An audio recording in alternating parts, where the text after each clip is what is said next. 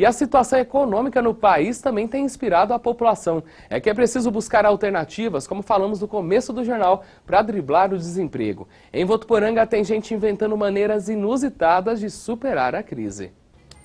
Amarelinha esconde-esconde, andar de bicicleta, brincar de carrinho e até mesmo empinar pipa. Na hora da brincadeira, a molecada não economiza na criatividade. E o que vale mesmo é se divertir.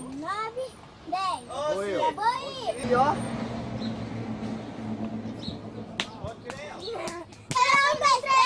que a gente não imaginava é que uma brincadeira simples como a pipa poderia virar também oportunidade de negócio.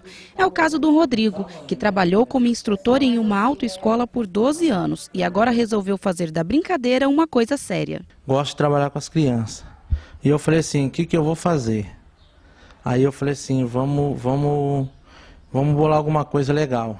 Aí eu falei, acho que eu vou. Aí eu vi, fui, acompanhei, vários lugares onde eles estavam.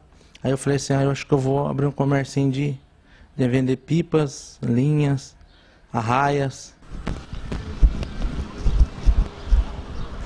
E para se divertir não tem idade. Brincadeiras que passam de pai para filho e se tornam tradição. E eu vou tentar descobrir agora o segredo de tanta diversão aqui com o nosso amigo Diego. Diego, ensina para mim como é que eu empino uma pipa. A gente segura aqui geralmente. Aqui segura assim, ó.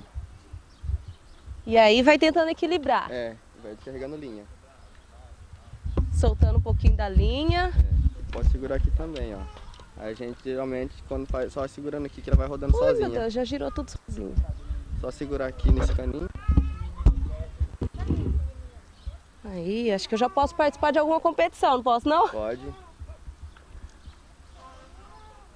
E o que vale lembrar também, pessoal, é que apesar de ser uma brincadeira simples, tem que tomar todos os cuidados. Normalmente o uso da linha do cerol, o maior risco que oferece é se for, for feito um corte na garganta. Isso pode levar à morte e lesões muito graves.